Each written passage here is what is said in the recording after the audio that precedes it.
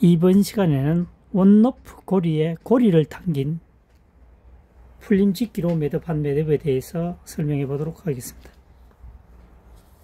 자, 여기서 고리를 만들고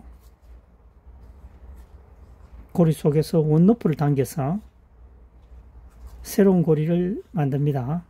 그래서 짧은 노프를 고정대에 감고 고리 속에 넣어서 당겨주면 매듭이 완성이 됩니다만 뭔가 불안한 요소가 보입니다. 그래서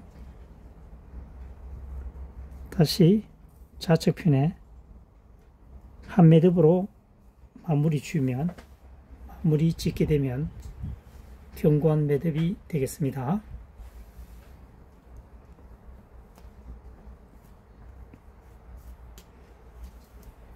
당기면 되겠죠. 다시 한번 설명해 보겠습니다.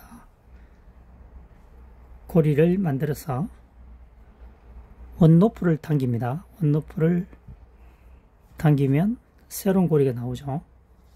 꽃노프를 가지고 고정대에 감고 고리 속에 넣어서 당겨주면 매듭이 완성이 되지만 어, 좀더 완벽한 매듭을 위해서는 한 매듭을 지어주면 매우 견고한 매듭이 되겠습니다. 한마디로 인장 강도가 굉장히 높아진다는 얘기가 되겠습니다.